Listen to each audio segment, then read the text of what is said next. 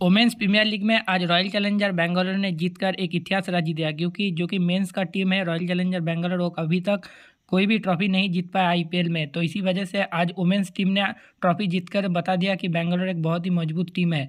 तो आज ऋचा घोष ने चौका मारकर ये मैच फिनिश किया। उसके बाद रॉयल चैलेंजर बेंगलोर आठ विकेट से इस मैच को जीतकर पहली बार वुमेंस प्रीमियर लीग में ट्रॉफी जीते। तो इसी के वजह से सिद्धि मंदना एलिसा पेरी और ऋचा घोष काफ़ी ज़्यादा खुश थे और सभी खिलाड़ी इमोशनल हो गए थे रॉयल चैलेंजर बेंगलोर का। ऋचा घोष ने विनिंग शॉट लगाया आज के मैच में और रॉयल चैलेंजर बेंगलोर जीत गया। तो इसी मैच के बाद एलिसा पेरी को ऑरेंज कैप मिला और श्रीरंका पटेल को पर्पल कैप मिला और रॉयल चैलेंजर बेंगलोर इस मैच को आखिरी ओवर में जीतकर पहली बार वुमेंस प्रीमियर लीग का ताज जीते। वीडियो अच्छी लगे तो लाइक